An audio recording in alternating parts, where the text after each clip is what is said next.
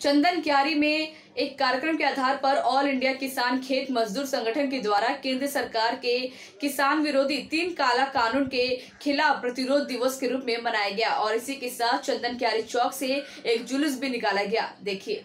ज़िंदा रहने के लिए भोजन चाहिए भोजन चाहिए। प्रतिदिन बच्चे को पढ़ाने के लिए किताब चाहिए। प्रतिदिन माँ बाप बुरा हो जाने पर उसको दो चाहिए, खाना चाहिए। इसके लिए वो मेहनत करता है।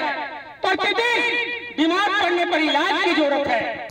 चंदन क्यारी में पूर्व निर्धारित कार्यक्रम के आधार पर ऑल इंडिया किसान खेत मजदूर संगठन द्वारा केंद्र सरकार के किसान विरोधी तीन काला कानून के खिलाफ प्रतिरोध दिवस के रूप में मनाया। चंदन क्यारी चौक से जुलूस निकालकर बाज़ार होते हुए प्रखंड कार्यालय तक पहुँची, जो सभा में परिणित हुआ। वक्ताओं ने किसान विरोधी काला बिल कानून, नंबर वन, आवश्यक वस्तु संशोधन कानून, नंबर टू, कृषि उपज, व्यापार और वाणिज्य संशोधन कानून, कृषक कीमत आश्वासन। कृषि सेवा पर करार कानून 2020 के खतरनाक पहलुओं पर विचार प्रकट किए। साथ ही महिलाओं पर हो रही बलात्कार और अत्याचार की कड़ी निंदा कर इसे तुरंत बंद करने और दोषियों को सजा की मांग की गई। इसके अलावा बिजली कानून संशोधन वापस लेने, प्रवासी मजदूरों को रोज़गार समय पर खाद, बीज की आपूर्ति सरकार द्वारा किसानों को फ़सल का कार्य और उचित मूल्य सिंचाई की सुविधा किसान परिवार के वृद्ध और विधवाओं को पेंशन प्रधानमंत्री आवास गाँव में विद्यालयों में पठन पाठन की सुविधा, शिक्षा की आदि की मांग रखी गई और वीडियो को मांग पत्र सौंपा गया। अंत में किसान विरोधी कानून की कॉपी जलाया गया। Bureau report H news.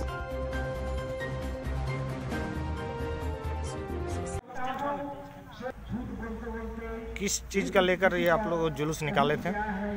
आज जो है ना किसान के विरोध किसान का जो विरोध जो काला कानून पास हुआ, किसान विरोधी काला कानून, उसी के खिलाफ ऑल इंडिया बेसिस पर जो एक किसानों का संगठन 250 किसान संगठनों का एक मंच जो ऑल इंडिया की, किसान संघर्ष समन्वय समिति, उसी का एक घटक के रूप में आज ऑल इंडिया किसान खेत मजदूर संगठन की ओर से जो आ, सारे भारत के पैमाने पर प्रतिरोध दिवस काला कानून के विरुद्ध हो रहा मैंने काला कानून पास हुआ उसी का विरोध में किसान लोग ये ऑल इंडिया पर ये सब जगह पर आज विरोध दिवस प्रतिरोध दिवस मना रहा है।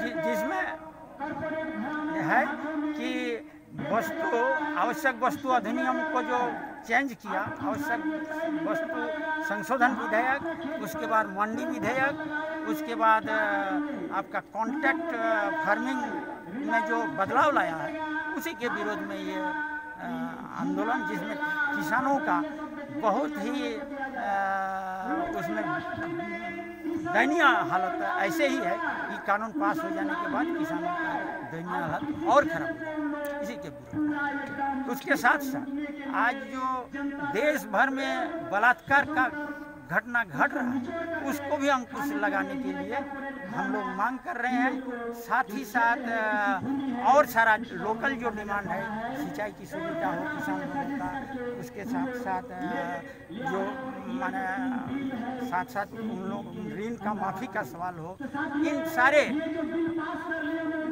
सवालों को लेकर आज का ये प्रतिरोध आज जो हम लोग चंदन चंदनकारी में मना रहे हैं यही सब मुद्दा है। साथ साथ ये हाल ही में जो एक सामाजिक कार्यकर्ता रांची के फादर स्टेन स्वामी को माने गलत माने क्या है? गलत कानून? मैंने जो ये काला कानून है काला कानून है जो है सामाजिक कार्यकर्ता को गिरफ़्तार किया जा रहा है। जा रहा है जिसके खिलाफ भी आज हम लोग उसका विरोध करें उसको रिहाई करने का को लेकर भी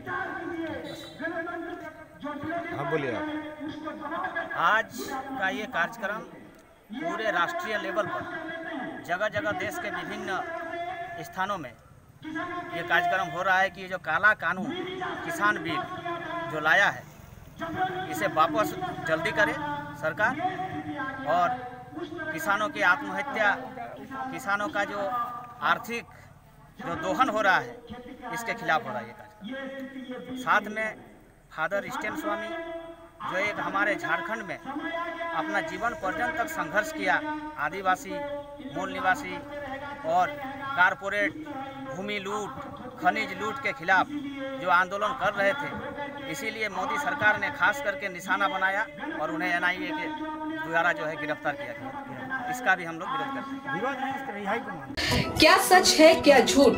अब होगा जो सच वही खबर। हमसे जुड़े रहने के लिए हमारे चैनल को सब्सक्राइब करना ना भूले और देखते रहे एच न्यूज़।